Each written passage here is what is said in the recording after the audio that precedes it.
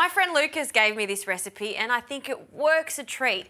It's a pickled cucumber salad with some smoked salmon. So into a bowl, I'll add half a teaspoon of hot English mustard. We'll need some vinegar, splash of vinegar.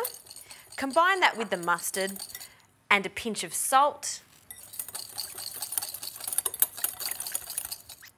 And now for the cream. I love to use sour cream. It has a creaminess to it, but more importantly, a tang to it, which is going to go so nicely with the hot English mustard and the coolness of the cucumber. So with a spoon, I'll add a few tablespoons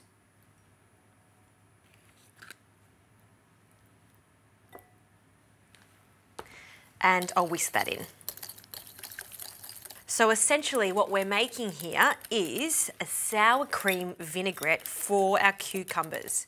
With the cucumbers, I've left the skin on, taken the seeds out and cut them into batons and we'll add them to the sour cream mixture along with a few sprigs of dill.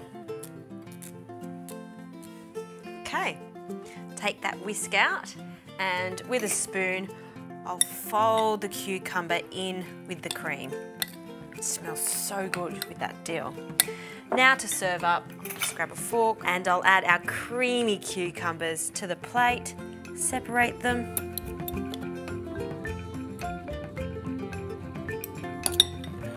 And top it with some good quality smoked salmon. Look at that pop of colour, so dramatic. And to finish it off, a few sprigs of dill. Look at that. That looks restaurant quality, but it's done in less than five minutes. So much flavour there, sour cream, not just for nachos, but you could use it as a dressing.